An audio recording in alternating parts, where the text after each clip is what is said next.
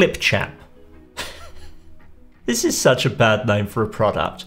It sounds like something that's definitely going to be laced with malware, or at the very least is for content you wouldn't want your boss seeing. But the reality is, it's actually pretty good. You already have a version of it included in Windows 11, and if you have a Microsoft 365 personal or family subscription, you already have access to it, and it will be coming to your Microsoft 365 Business or Enterprise subscription very soon too. So, what is it, and why should you be excited about it? Keep watching to find out. For what seems like forever, if you get on a Mac, one of the core capabilities built in is a product called iMovie. And while iMovie isn't the best video editor around by a long way, it's a pretty capable tool if you've got reasonably light needs, and it comes free with the system. If you overlook the fact that you've already paid double for the privilege of having an Apple on the back of your laptop screen. For a long time, the same was the case with Windows. Windows Movie Maker originally arrived with the much derided Windows ME. Windows Me? Windows Millennium Edition? Who cares, we all hated it. And it stuck around through Windows XP and Vista. In fact, it stuck around in some form or another until 2014, and was eventually replaced by a video editing feature in Microsoft Photos. Who knew? In the beginning, Windows Movie Maker was a pretty cool tool, but it never achieved the ubiquity of iMovie, and over time, development of these resources seems to have lost pace until video editing was a bit of an afterthought in another app. Thanks for watching. If content like this is useful to you, please do remember to hit that like button. And if you want to see more like this, subscribe to the channel and hit that bell icon so you'll know immediately the next time I release a video. Also, if content like this would be useful to people in your network, please consider sharing it there too. Thanks. So in 2021, as is often the case, Microsoft made an acquisition to have a bit of a reset on this line of its business, buying the web-based video editor Clipchamp. After being introduced as an app in Windows 11, Clipchamp has now made its way to Microsoft 365 personal and family plans and will soon be added to Microsoft 365 Business Standard, Premium, and E3 and E5 along with some other SKUs. It seems like from time to time, everyone has a need to edit video in some way now. My app of choice is DaVinci Resolve, but I've also edited nearly 100 videos in the past year, so my needs are a little more than the average infrequent user. Clipchamp is there for those infrequent ad hoc needs, but it also has a rich enough set of tools that for many purposes you wouldn't necessarily need anything else. In that regard, it's very similar to iMovie. So let's jump in and take a look at what it can do.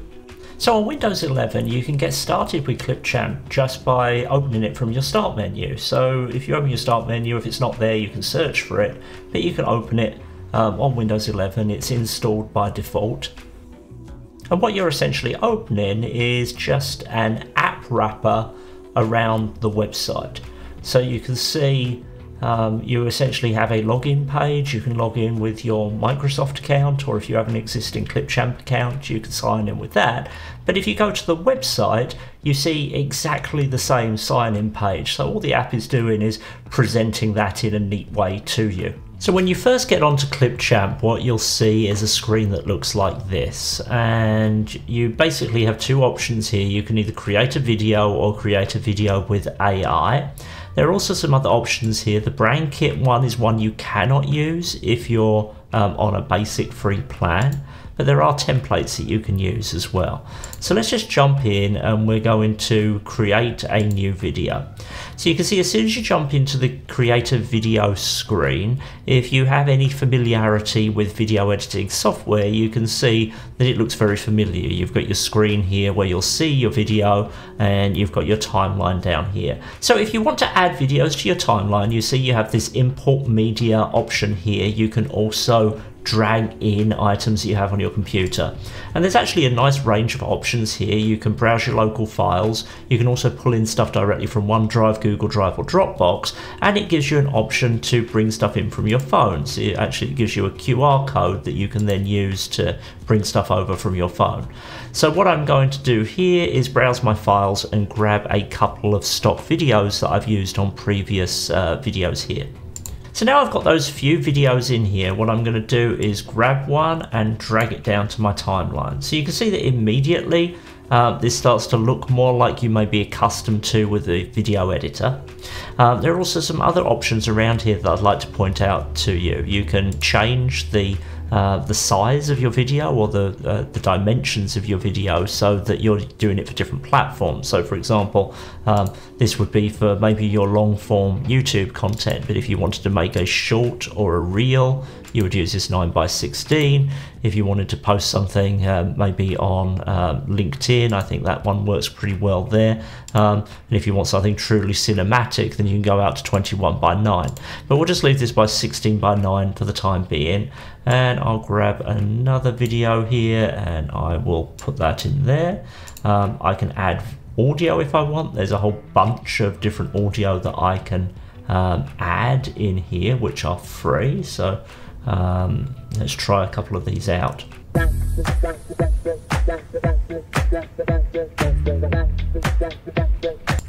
So we're going to go ahead and drag that onto our timeline. And then if we go back to the beginning and we press play,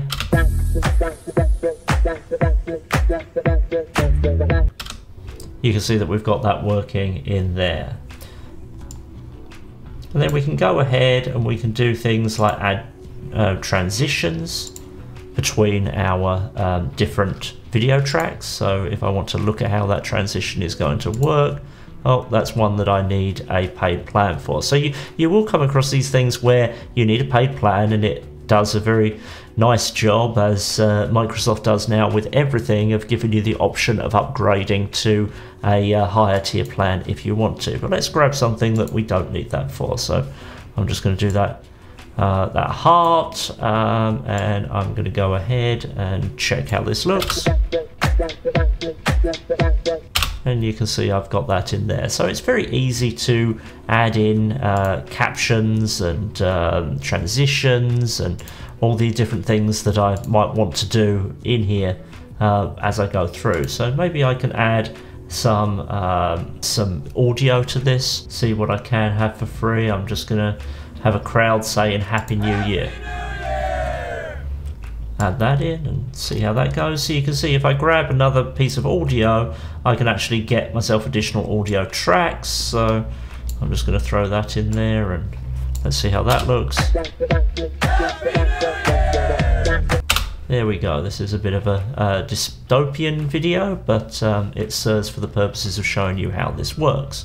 So I could do exactly the same thing with um, with my video tracks as I do with my audio tracks. So if I want to add another video track over the top, say, I can do that just as I would. So this isn't a, a single track editor um, as you may be used to with kind of cheaper um, paid software and some of the other free options that are out there. Some of them are single track. This is a multi-track editor. I don't know how many I can add. I can obviously have three video tracks, so um, that gives you more than enough for most things that you'll do.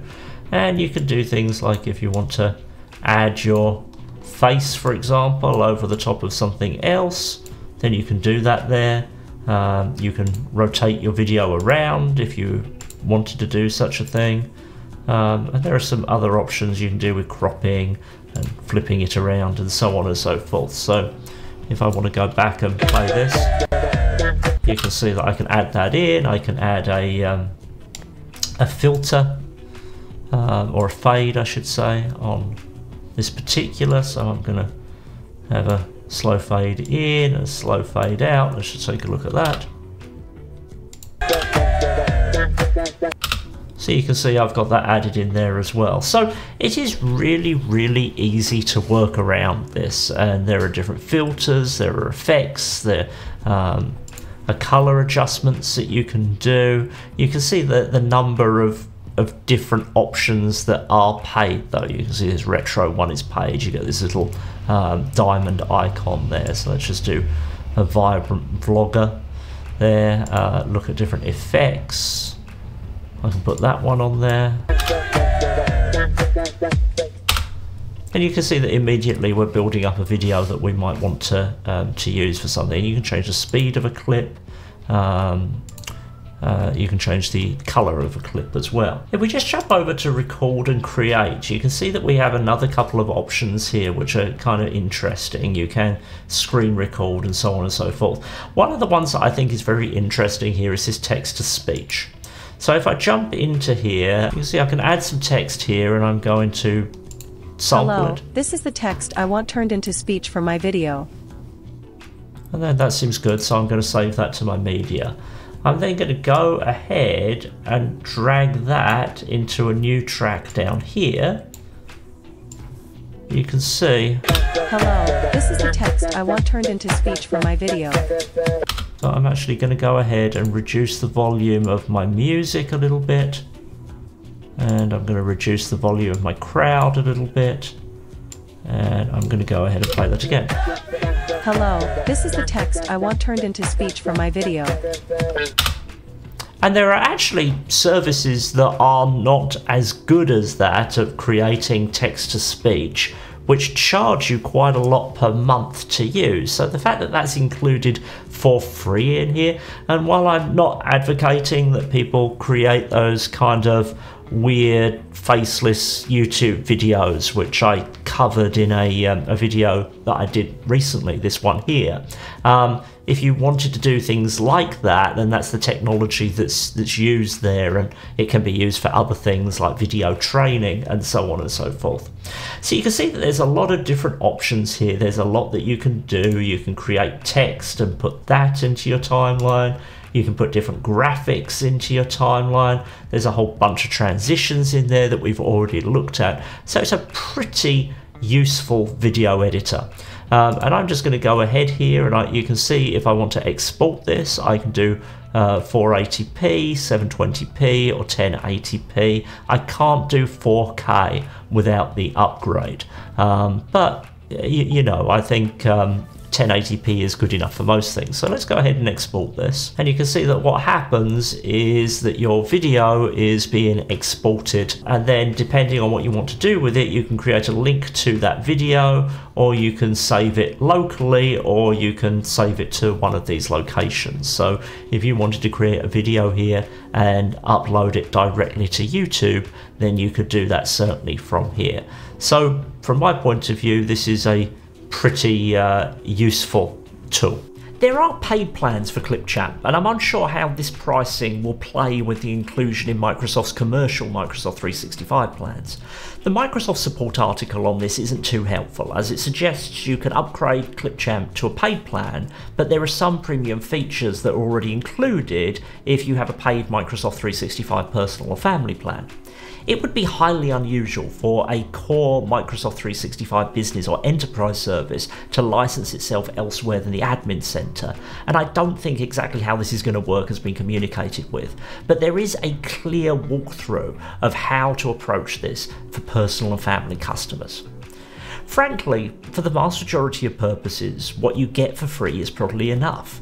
If you're in a situation where you truly care about features like exporting to 4K rather than 1080p, then you might be in a category where your needs would be better served by a solution like DaVinci Resolve, which for many is free too, anyway. Unlike a lot of online video tools, Clipchamp doesn't watermark your free produced content unless you use premium features, and content ownership is covered in the way we've come to expect from anything connected with Microsoft 365. You own your content, no ifs or buts. Those two aspects alone should make Clipchamp deserving of your attention if you're in the online video editing market. The other day I had a video project where I wanted to use an animated GIF. GIF? This is the video of confused pronunciations. And while I love using DaVinci Resolve, there are some places it's quite limited, and dropping an animated whatever they are called into your project is one of them. Clipchamp just took them like a champ. I threw them onto the timeline, and in a couple of minutes, I had a nicely encoded MP4 that DaVinci was happy to work with. Now, there are lots of other ways I could have approached this, but given that I was working on a fairly fresh install of Windows, where some of the weirder tools I sometimes use hadn't been installed, Clipchamp was there and waiting for some action. This is exactly the reason why having a video editor that's just there makes so much sense. You don't always know when a weird project is going to turn up, and it's frustrating to have to spend your time finding a tool, or worse yet, remembering the right tool to go download, install, and then tackle it. Will I be using Clipchamp every day? No. My workflow works for me, and I'm not looking for a new video editor. But had this been so readily available a year ago when I started my YouTube journey, I think I would have seriously tried it. Based on my testing so far, the majority of what I do for YouTube could be easily done here. If you're just starting with video or your requirements are light, this is the right tool. Just as for anyone in that situation using a Mac, I'd point them to try iMovie before trying anything else. Have you used Clipchamp? Does it meet your needs or have you moved on to something else? Let me know what you think down in the comments. Thanks so much for watching through to the end. I'll be back with more information on awfully named products, along with videos on the ones with good names too. Until the next video, bye bye.